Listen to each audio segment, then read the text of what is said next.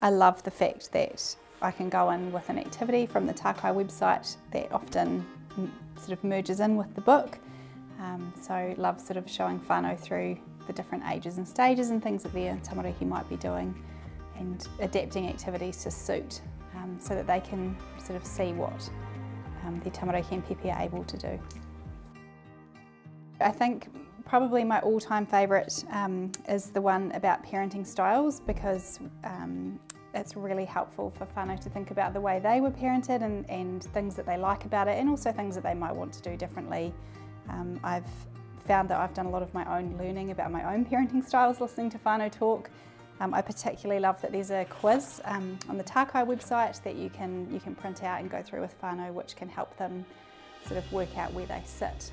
Um, and I've even noticed that sometimes they realise they have slightly different styles with different children, so that's been a good learning sort of opportunity.